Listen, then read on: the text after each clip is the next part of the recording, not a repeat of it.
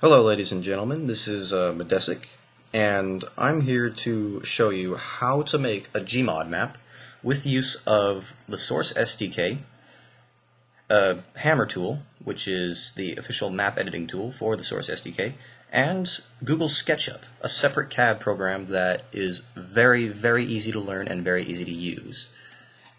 And so, basically, when I was going around looking for ways to make a Gmod map, the number one method that popped up was simply using the Source SDK by itself, which is, uh, granted, a feasible way of doing it, but not very easy at all. I mean, many people will say it's easy, but learning Hammer Editor is like learning an old CAD program. It's very hard and very difficult to get a grasp on.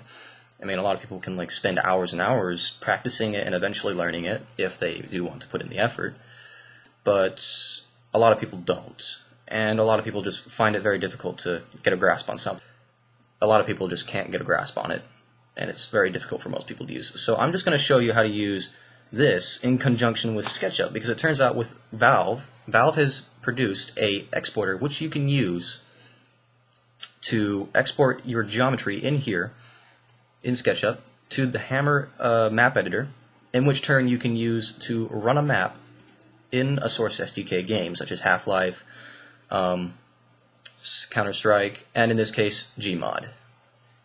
So I'll go ahead and first teach you how to install everything so that you can get ready. And of course, you can skip ahead at any time. I'll hopefully put like marks or something on the video so that if you've already achieved a step, you can just skip forward. Okay, so the first thing I'm going to do is show you how to install all the tools that you'll need to make Gmod maps. Now, um, First thing that you're obviously going to need to download is this, the Source SDK, which is important because it has the Hammer editor in it. So you're going to want to go to Steam. You do need to have a Steam account, by the way, and Steam installed. So uh, go to your library, which is your list of games, right here, and then go to All Games, and then Tools. Now it'll open up this window right here, which is uh, all the SDKs and dedicated server softwares that you can download for separate games. Scroll all the way to the bottom, you'll see Source SDK. Right click on that and then hit Install. And that will download and install Source SDK for you. And that might take a while because Source SDK is quite big. I think it's about a gigabyte. And so after that, while Source SDK is installing, you can go ahead and find Google SketchUp and then install that. Go ahead and go to google.com. You can just type it into Google, Google SketchUp.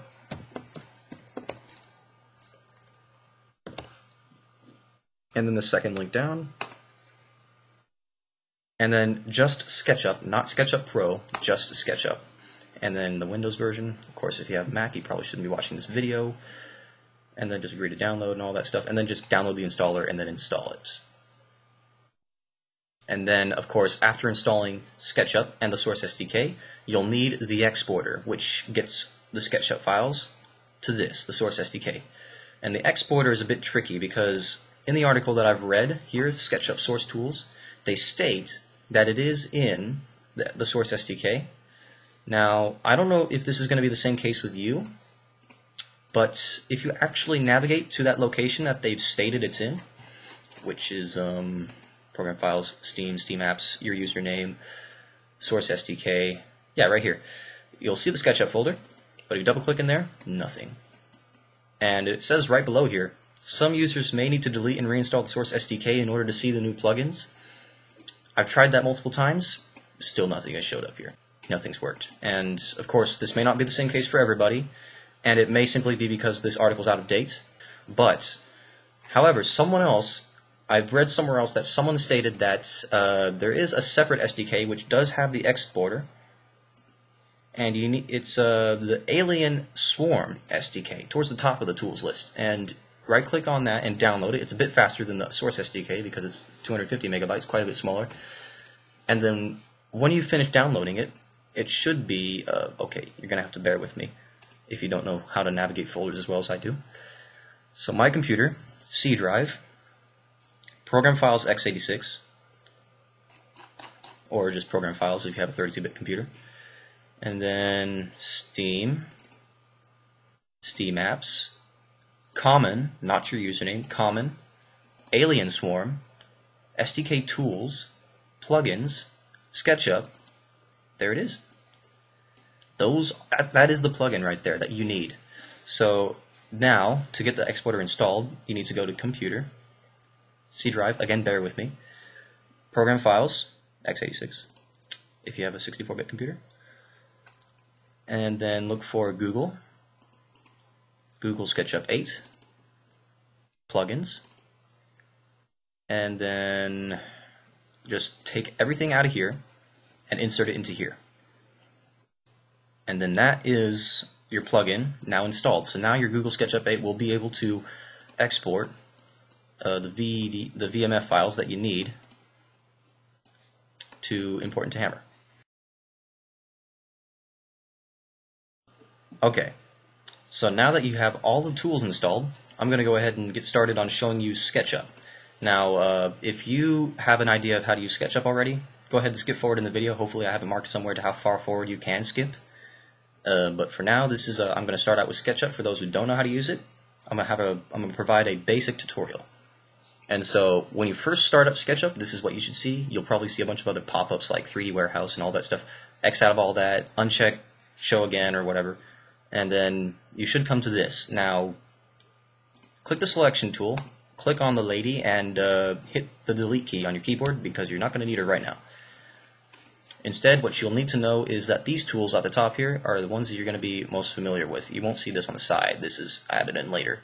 But um, the select tool is very important. The pencil tool or the line tool is the next most important.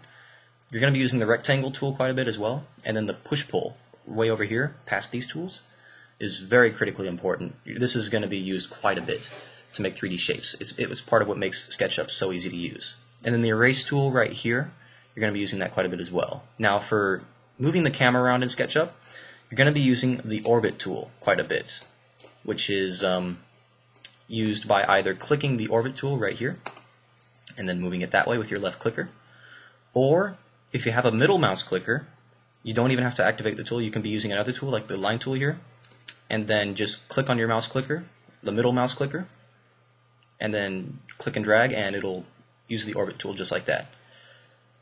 And then there's also the pan tool, which comes in handy quite a bit.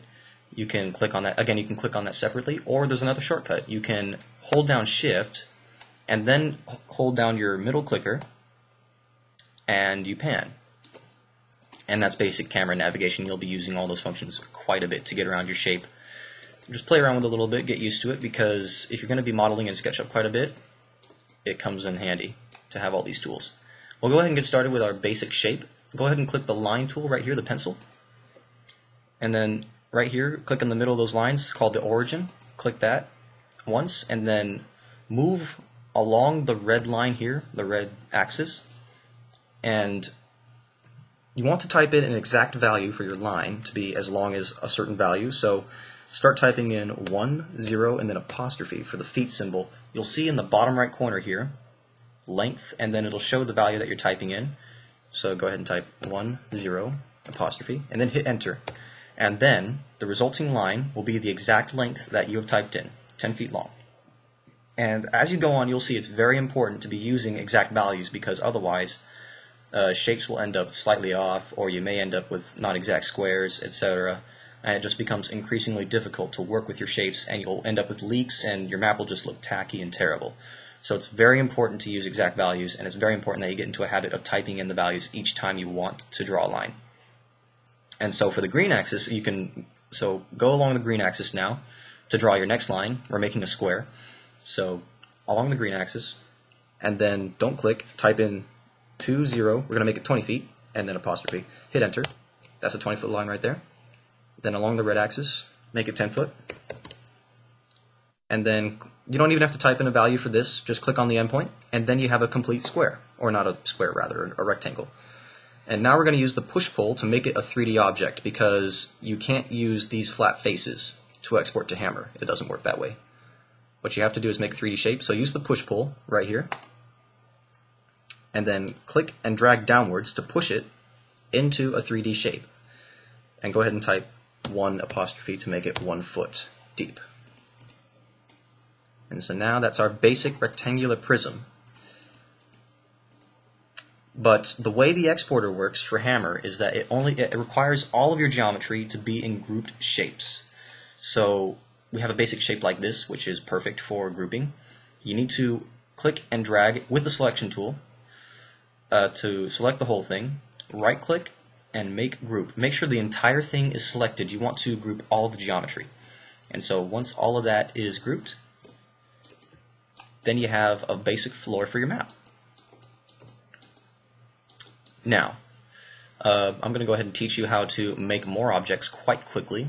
Of course, if you want, you can draw out each object as you go, although it takes a while. But we'll draw out the next one, a wall for our, for our uh, floor going this way. And so you want to draw a line along the green axis, along the edge of your shape right there, and then draw a line up. And you don't have to click again to draw another line. You can just click and then it'll just, and then drag along, and then as long as it drags along and you see a line, then that's another line being made and, and ready. So just type in an exact value of 10, and then along the green axis, type in exact value of 20, 10, and then you have another complete uh, rectangle. And then push that into a one foot deep rectangular prism. Highlight the whole thing. Now that's why you want to make this a group right now, right before you make a shape, is that uh, if you leave this ungrouped before you make this next shape, then it becomes really difficult to group this. For example, I'll explode this real quick and show you what I'm talking about. By the way, if you want to ungroup something, right click on it and then explode it right here. And then that makes it ungrouped again. And then if you look here, if you try and select the whole thing to group it, you can see that I've accidentally set, selected some of the other geometry that's part of this shape and then if you try and group that, make group, uh, that is going to export, that's not going to export into Hammer. That's going to produce an error. You only want to, um, see, I can, I'll, remember you can control Z to undo anything that you've done. And so I'll undo the uh, change, that the exploding that I did of that. So now that's grouped again. And this is still ungrouped, so I'll go ahead and group this. Now, because this is grouped, it won't let me select individual geometry and faces and lines on it. So I can select this with no problem, right click, make group, and I've got another wall, or a, just a wall rather. Now we're going to go ahead and I'm going to show you how to just uh, copy whole shapes that you've already grouped into other shapes that are grouped, and then that, that way you can easily produce bunches and bunches of walls and floors and whatever. So you want to click the Move tool up here, right next to the push pull and then you want to hold down control. That's going to produce a plus sign on your cursor if you look carefully. And then click and drag, and then it'll produce an exact duplicate of the shape that you were clicking and dragging on. Move it along the red axis, and again, you're going to want to type an exact value. And, um, well, because we want it to be uh, out like that, type in 11 feet. Because 10 feet, you'll just end up like that. So now you have uh, close to an enclosed space. Another thing is that when you're testing your map in Hammer, the map has to be completely enclosed. It can't be there can't be any open spots. Otherwise, uh, it, the map will run, but there will be glitchiness, and some components of the game may not work.